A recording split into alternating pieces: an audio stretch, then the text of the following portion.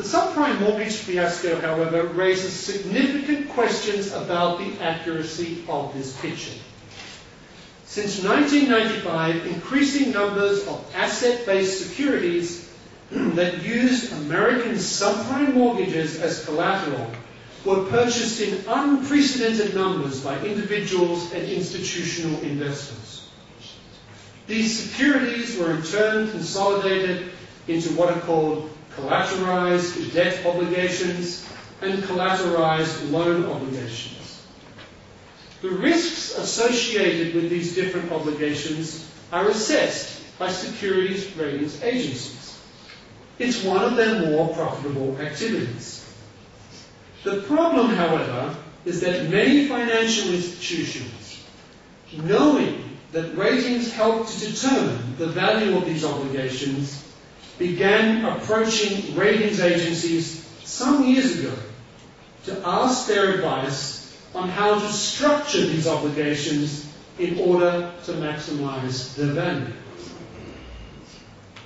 But when the subprime mortgage market on which many of these obligations were built began imploding, some ratings agencies were slow to concede that something was wrong. Some ratings agencies did start putting out warning signs as early as mid-2006. Yet they did not significantly downgrade their ratings of the very same investments. A common claim by some ratings agencies is that they were afraid that significant downgradings would further undermine already weakening capital markets. There's no reason not to take this claim at face value. But it may also be true that many ratings agencies, fully aware that many investors know how deeply such agencies had been involved in structuring these securities, they may have themselves become conscious that their objectivity, which is their primary asset, would be called into question. Of course, the very moment that ratings agencies were asked to become involved in structuring the assets they were supposed to be assessing, their moral antennae should have begun quivering. It's very difficult to provide objective assessment of risks associated with particular securities when you have helped to structure the very same securities. This, however, did not deter some ratings agencies from involving themselves in structuring securities based upon subprime mortgages. Now, I'm not suggesting that ratings agencies were somehow engaged in a type of sordid swindle. The point is that when ratings agencies were asked by banks to become involved in structuring securities, they should have said no. That will compromise our capacity to objectively assess the risks associated with your securities. Our objectivity is our greatest asset. It can lend value to your assets, but only if our assessments remain objective and detached. The fact that some ratings agencies did otherwise suggests, I submit, significant failures of judgment and character on their part. In terms of the virtue of prudence, it reflects a major absence of the quality of foresight, in the sense that it was reasonable that any relatively clear-thinking person, especially those with enormous experience of the securities ratings business, should have recognized what was likely to eventuate from this type of activity. Now, to address these problems with securities ratings agencies, it does appear that legislatures around the world will try and introduce legislation to prevent such conflicts of interest from happening again. Once again, however, I am very skeptical this will achieve very much. In fact, it's likely to be counterproductive. What has, however, not been highlighted is the fact that markets have already disciplined securities ratings agencies, sometimes severely. The value of stock in many such agencies has plunged by more than 40%. This indicates that whatever might be the agency's protest to the contrary, they are going to have to work very hard to regain the market's confidence in their basic prudence and trustworthiness. Now, one might think that the combination of failed interventionist policies and some rather significant moral problems that have contributed to the current crisis would have shaped the response of policymakers in ways that underscored a new skepticism about the worth of government intervention and a new emphasis upon avoiding the moral hazard problem. I am afraid, however, that this is not likely to be the case. To take one example, let us examine the approach of President Obama's new administration when it comes to the subject of addressing one of the underlying causes of the current recession, but which is now contributing to the current climate of uncertainty. And that is the turbulent American housing and mortgage market. The context is America, but the lessons are universally applicable.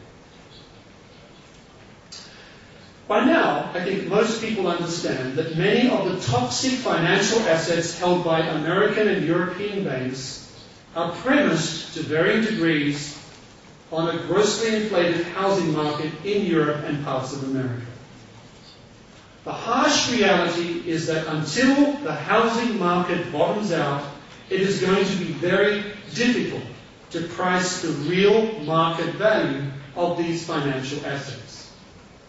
This in turn creates uncertainty about the real value of many assets held by banks, thereby leaving many banks stranded in their present state of financial limbo, unwilling to lend and unable to attract private investors and capital. As a consequence, economic growth is stalled and will remain so until the housing market recovers it follows that one of the fastest ways to allow the market price of the assets, the toxic assets, to be realized is to permit the housing market to stabilize under its own volition. There is, however, a considerable human price to be paid for this necessary process of adjust, adjustment. In some cases, it takes the form of families losing their homes through foreclosures on their mortgages. While the vast majority of these people move quickly into rented accommodations and are in fact very likely to own a house in the future, the social cost and psychological distress associated with home loss should not be trivialized. Yet other people face the daunting prospect of being stuck with mortgages worth considerably more than the property's actual current value. Now, naturally enough, there are plenty of people who want to see governments try and alleviate the pain, if not render the adjustment unnecessary. Thus, no one was surprised when President Obama announced the federal government's mortgage relief plan on February the 18th. Now, this includes using $78 billion of taxpayers' money to help approximately 5 million homeowners avoid foreclosure, losing their homes. The same plan also allows the Treasury Department to purchase $200 billion worth of preferred stock in the technically insolvent Fannie Mae and Freddie Mac, thus allowing these two technically insolvent lenders to renegotiate mortgages with some of their clients facing difficulties. These measures follow in the wake of other smaller scale mortgage relief strategies implemented by the Bush administration, none of which, incidentally, slowed down the foreclosure rate across the United States. Unfortunately, there is little reason to be optimistic about the probable effects of the Obama administration's interventionist approach to mortgage relief. In fact, it is most likely to be counterproductive. For one thing, it will encourage many people to stay locked, potentially for years, into mortgages that, financially speaking, they would be better off exiting. For some people, selling their home at a loss or even foreclosure would be a better alternative. Either scenario would enable many mortgage holders to extract themselves from an economically burdensome situation and begin the process of rebuilding their financial lives. Now, foreclosure will have some negative effect on a person's credit record, but so too will the fact of requesting and receiving government assistance in order to keep one's mortgage afloat. At the macro level, there's no guarantee that the envisaged intervention will stabilise the housing market. Something like 55% of those people who renegotiate their mortgages redefault within six months. This indicates that government-sponsored mortgage relief will merely delay the final reckoning for millions of people. It will also impede foreclosures from shifting properties from those unable to pay their debts to those who can afford to buy houses. This transfer, along with the normal process of people buying houses at market prices, is crucial for stabilizing the American housing market, thereby allowing an accurate market pricing of all those financial products that are built upon mortgage assets. And this is critical if the banking sector's current difficulties are going to be resolved in any lasting way. Now, leaving aside the economic difficulties with the Obama administration's plan, there are also serious moral problems associated with government mortgage relief efforts. Primarily, primary among these is the problem of moral hazard. Government officials, including President Obama, have insisted that the mortgage relief plan will not assist those who have behaved irresponsibly. But this claim is very hard to reconcile with the details of the plan. The plan makes, for instance, eligibility for what is called mortgage modification dependent on how much borrowers owe above their house's current value. Eligibility also depends upon borrowers providing, among other things, a quote unquote affidavit of financial hardship. And this is a sure recipe for arbitrariness on the part of those deciding who gets relief and who does not. Because defining what counts as financial hardship is a very subjective matter. It depends on factors as variable as one's income, one's responsibilities, one's family size, one's stage of life, cost of living differences, etc., etc. Even more problematic, however, is the fact that the plan avoids the issue of why some people are facing financial hardship. There is a big difference between, for example, a married couple with a good credit history and who are only experiencing mortgage payment difficulties because the main wage earner has lost his job through no fault of his own, and those individuals who freely and in many instances recklessly played the house flipping game in order to make rapid financial gains. The willingness to take high risks is rightly associated with the prospects of large gains. But the corollary injustice is that those who take high risks must also be willing to accept the possibility of heavy losses. As presently configured, the Obama administration's mortgage relief plan actively undermines this reasonable expectation. Whether we like it or not, it will send the message to many people that they do not need to face up to the consequences of being financially irresponsible. Quite rightly, those homeowners who have, who have behaved prudently and continue to meet their mortgage payments will wonder why a portion of their taxes is being used to shield large numbers of people who have behaved rashly from the effects of their own actions. The end result is likely to be a community-wide increase in a lack of personal responsibility. Over the long term, I think it's likely to contribute to future economic recklessness on Wall Street and Main Street, not to mention reinforce an already complacent attitude among government officials to the moral hazard problem. Now, I could say much more about the moral problems contributing to the financial crisis and which are still being ignored by most policymakers. I would, however, like to turn our attention to some reflections on the institution and practice of credit itself. In the current financial environment, much anger has been directed at those who specialize in the credit business, especially subprime lending. No doubt some predatory lending has occurred. You only need to pick up the nearest newspaper to read about elderly couples on the brink of bankruptcy because they signed mortgage agreements that they either did not understand or were never adequately explained to them.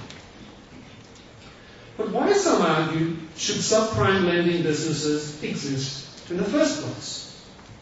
Are they not financial traps for the poor and the vulnerable? Don't they discourage prudent saving? There have even been calls for official caps on interest rates offered by private lenders. Now, the difficulty, I think, with some of these critiques is that they often reflect fundamental misunderstanding of the nature of credit and its underlying moral apparatus. A revealing feature of the analyses of the borrowing and lending habits contributing to the 2008 financial crisis is that they indirectly underline the extent to which many moral philosophers and economists have forgotten that the extension and seeking of credit was a subject of considerable and often heated debate for centuries. The very morality of charging interest on loans has been intensely debated by religious and secular thinkers for over 2,000 years. Many contemporary practitioners of finance may be surprised to know that Adam Smith actually favored usury laws. What we need to understand is that credit is about lending other people the financial means, the capital, that most of us need at some point in our life. Whether it's starting a business or buying a house most people need capital. This means someone else, such as a bank or a private lender, has to be willing to take a risk. They stand to profit if the mortgage is paid off or the business succeeds, but they also lose if the house is foreclosed or a business goes bankrupt. Charging interest is how lenders maintain their loan's value and make a profit the margins of which are much lower than most people realize, thereby increasing the sum total of capital available in a society. But it is also their way of calibrating risk. The higher the risk, the higher the interest rate, in order to compensate for the greater possibility of loss. It follows that if interest rate ceilings were imposed by government, as some people are suggesting, lenders would effectively be prohibited from charging interest rates commensurate to the risks involved. Hence, they would be unlikely to lend capital to entrepreneurs and businesses pursuing high risk endeavors. Many risky but wealth creating and employment generating activities would thus simply never occur. Legislating interest rate ceilings would also mean that some poor people would never have the chance to acquire the capital that they might need, for example, to go to university, let alone developing a credit record. Entire categories of people, such as recent immigrants or the urban poor, could be condemned to life on the margins. But at an even deeper level, we also forget that while credit is about capital, it's ultimately about something more intangible, but nonetheless real. The word credit is derived from credere, the Latin word for believe, but also to trust. Thus, whether it's giving someone a credit card for the first time, or extending a small business the capital it needs to grow into a great enterprise, providing people with credit means that you trust and believe in them enough to take a risk on their insight, their reliability, their honesty, their prudence, their thrift, their courage, and their enterprise. In short, the moral habits without which wealth creation cannot occur. So a moment's thought about credit reminds us just how much market capitalism, so often viewed as materialistic, relies deeply upon a web of moral qualities and non-material relationships. As the credit crunch has taught us, once these relationships are corrupted, whether by basic dishonesty, excessive regulation, or political manipulation, the wheels of wealth creation splutter and eventually grind to a halt. Businesses die, people lose their jobs, and families suffer. And so to conclude, we should have no illusions. The modern case for the free market, so painstakingly developed against interventionists of all stripes since Adam Smith's time, has been set back years by the current disarray on financial markets.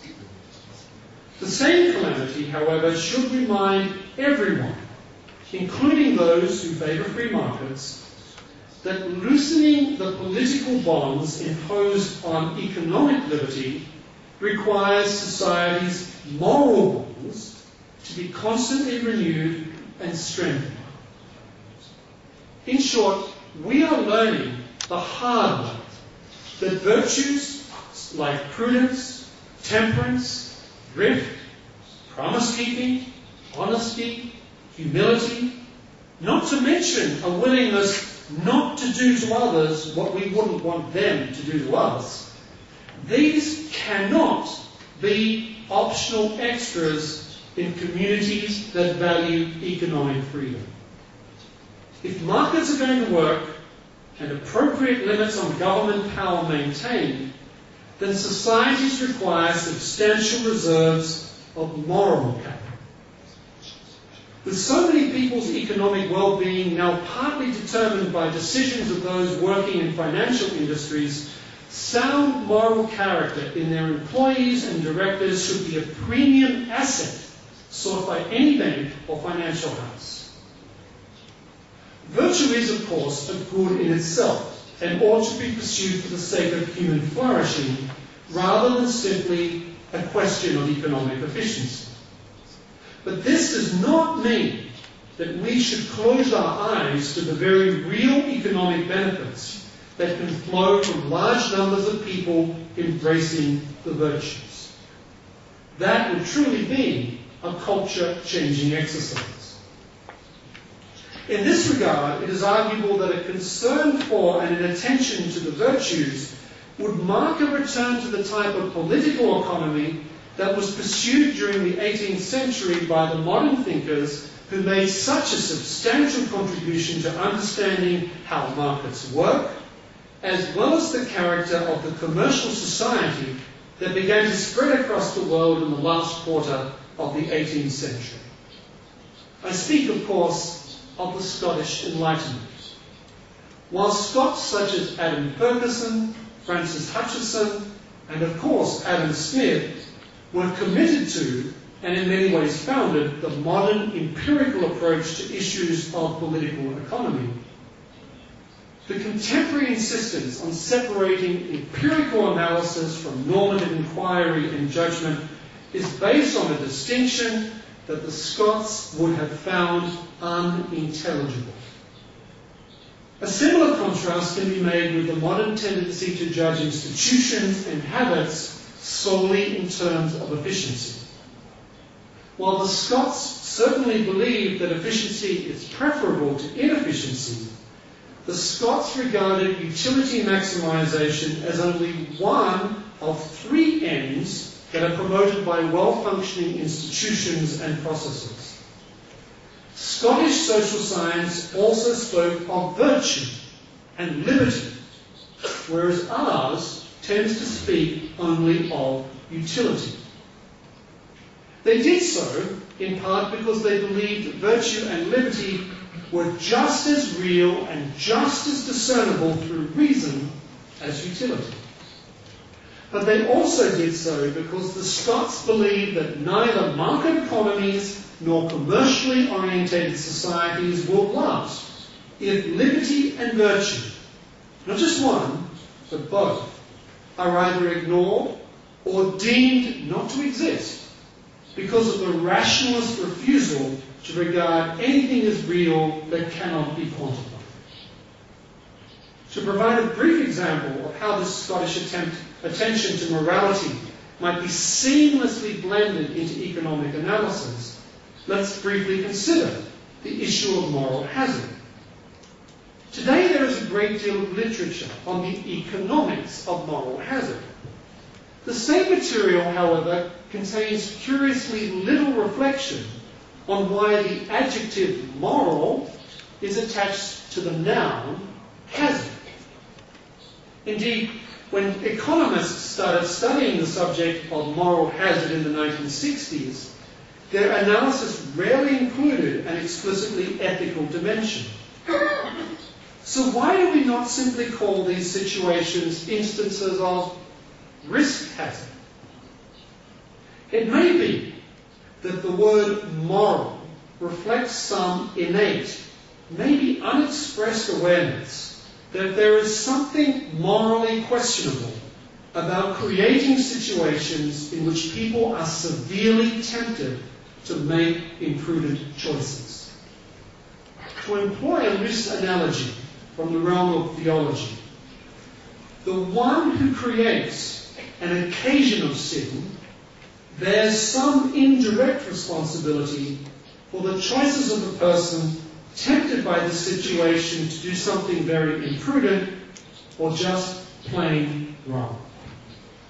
If governments and businesses took moral hazard seriously, they would make an effort to identify those state and non-state structures, policies and practices that tempt people to take excessive risk with their own and other people's assets. They would then do what they could to minimize these instances of moral hazard. The economic price might be fewer booms, but economic growth over time would likely be steadier. The chances of mild or severe recession would also be reduced.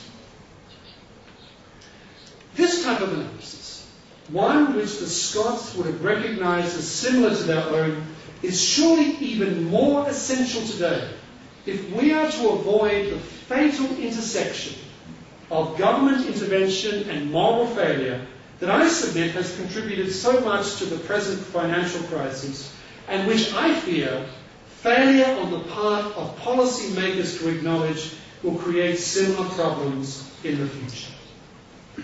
Because in the end, no amount of regulation, heavy or light, can substitute for the type of character formation that is supposed to occur in families, schools, and churches.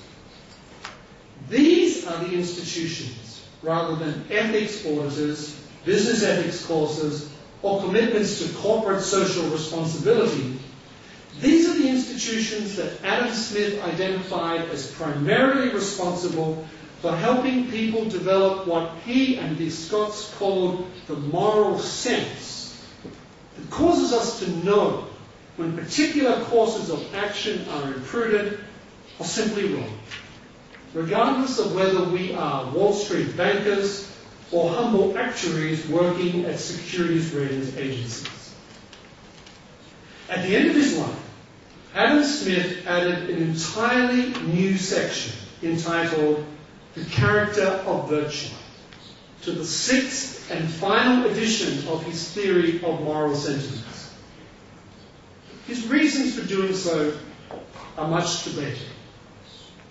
But perhaps Smith decided that as he glimpsed a world in which the spread of free markets was already beginning to diminish poverty, he needed to re emphasize the importance of sound moral habits for societies that aspire to be both commercial and civilized. And this, I think, is surely advice worth heeding today. Thank you.